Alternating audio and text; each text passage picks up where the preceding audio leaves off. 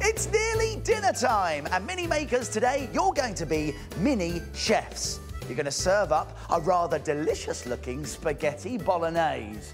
But today, I'm feeling quite hungry, so I'd like a giant portion on my giant plate. Look at that! It's massive! And you're going to use all these wonderful ingredients. We've got spaghetti, we've got mince, tomatoes, and some tasty looking toppings. So, Ewan, Leona, and Brandon, do you think you can do it? Yes! I think so too, my friends, but you've got to serve up that spaghetti before Scrappz makes this noise. Mamma mia! Get ready, get steady, mini chefs, go! Off you go, my friends. That's it, spread it out. That's it, you've got it.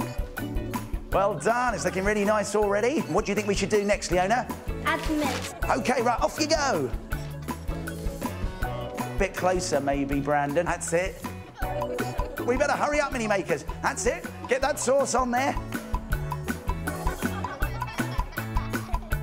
Right, let's find some toppings. Get it on, my friend.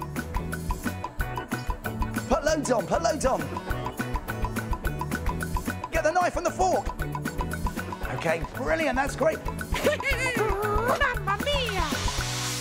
Oh, Scrap says time up. Back over here, mini makers. Yay! Well done, mini makers. Look at that super spaghetti bolognese. It's almost good enough to eat.